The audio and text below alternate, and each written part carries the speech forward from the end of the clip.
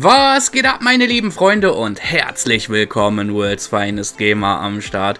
Und in diesem Video soll es um die 8 neuen Spezialfahrzeuge des Import- und Export-DLCs gehen. Ich werde sie euch alle in diesem Video vorstellen und ich werde euch sagen, bei welchem Fahrzeug ihr unbedingt zuschlagen müsst und von welchem Fahrzeug ihr bloß die Finger lassen solltet. Bevor ihr euch jetzt aber eines dieser Fahrzeuge kauft, kann ich euch echt nur ans Herz legen, spielt die Automissionen des DLCs, denn dann schaltet ihr immer wieder neue Special-Missionen frei. Jedes Special-Fahrzeug hat nämlich seine eigene Special-Mission und wenn ihr diese dann abgeschlossen habt, könnt ihr euch dieses Special-Fahrzeug dann für den Einkaufspreis kaufen und da könnt ihr teilweise Millionen GTA-Dollar sparen. Aber kommen wir nun einmal an dieser Stelle zum ersten Special-Fahrzeug. Beim ersten Spezialfahrzeug handelt es sich um den Ramp Buggy und dieses Fahrzeug ist der Dune Buggy, nur mit einer fetten Rampe vorne dran. Dieser kostet 3,2 Millionen Dollar, wenn ihr die Special Mission noch nicht gemacht habt und wenn ihr diese einmal gemacht habt, kostet er dann nur noch 2,4 Millionen Dollar. Mit diesem Fahrzeug könnt ihr jedes Auto problemlos wegrammen und die Autos fliegen dann einfach nur noch richtig krass weg. Jedenfalls könnt ihr mit diesem Fahrzeug sogar ins Los Santos Custom reinfahren und dieses Fahrzeug dort drinnen auftun, was dieses Fahrzeug einfach noch geiler macht. Dieses Fahrzeug Fahrzeug bekommt von mir eine klare Kaufempfehlung, weil es mir einfach so viel Spaß gemacht hat, mit diesem Auto in einer Open Lobby rumzufahren. Das nächste Fahrzeug ist der Phantom Reg. Dieser kostet normal 2,5 Millionen Dollar und mit Rabatt 1,9 Millionen Dollar. Hierbei handelt es sich um einen LKW-Truck, der vorne auch eine riesige Rampe dran hat. Allerdings hat dieser Truck mich null überzeugt. Er ist langsam, er hat kein Handling und er sieht hässlich aus und der Preis ist meiner Meinung nach einfach viel zu teuer angelegt. Außerdem kann man an diesem Fahrzeug nichts im Los Santos Custom verändern und von daher Finger weg von diesem Fahrzeug. Das nächste Fahrzeug, was ebenfalls keine Kaufempfehlung von mir bekommt, ist der Wastelander. Dieser kostet 650.000 Dollar bzw. 495.000 Dollar. Allerdings ist der Wastelander wohl das schlechteste Special-Fahrzeug, was es im Spiel gibt. Er ist hässlich, er hat kein Handling und er kippt ständig um. Außerdem kann man auch am Wastelander nichts im Los Santos Custom umtunen, sodass wir immer wieder diese hässliche Farbe auf dem Fahrzeug sehen müssen. Was mich auch traurig macht, ist, dass man hinten keine Autos auf dem Wastelander transportieren kann, so wie in der Special-Mission des Wastelanders anders, denn dort mussten wir dann einen Ruiner 2000 drauf transportieren.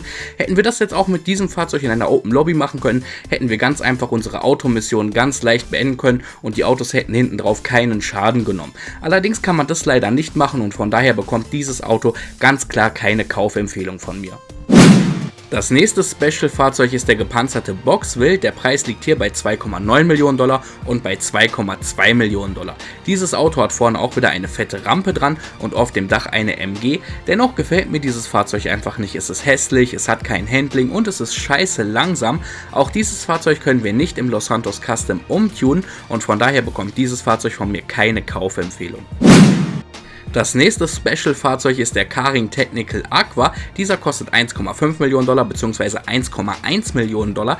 Hierbei handelt es sich um den stinknormalen Karing Technical mit der MG hinten drauf, den wir ja damals auch schon im Heist DLC bekommen hatten.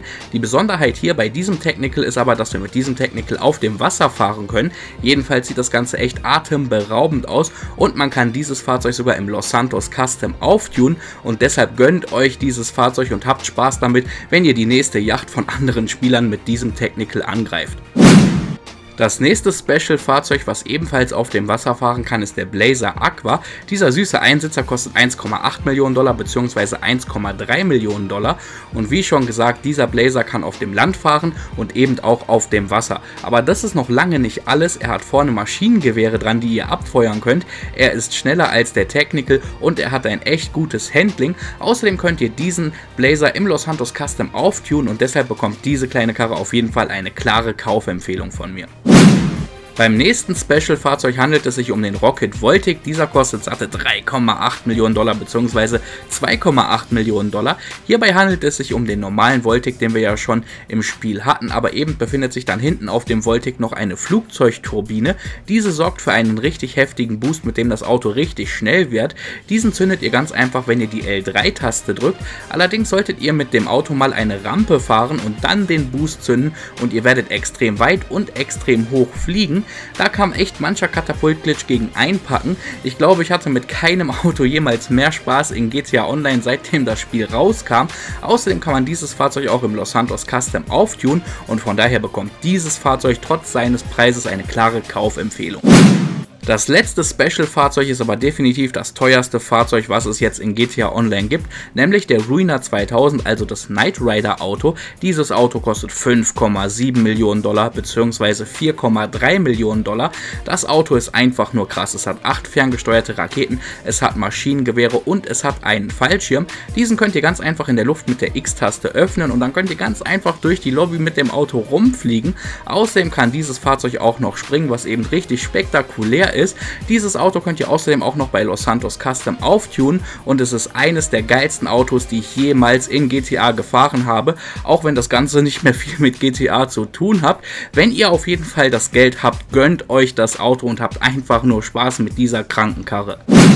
Okay Leute, das waren nun alle neuen Special-Fahrzeuge, die mit dem Import- und Export-DLC neu in GTA Online hinzugekommen sind. Ich hoffe, das Video hat euch gefallen und wenn dem so ist, lasst dem Video auf jeden Fall einen Like da, da dieses Video richtig viel Arbeit war. Schließlich habe ich in diesem Video nur Rockstar-Editor-Aufnahmen benutzt und wenn ihr das Video geliked habt, sehen wir uns dann im nächsten Video wieder. Bis dahin, macht's gut, bleibt gesund, haut rein und ciao.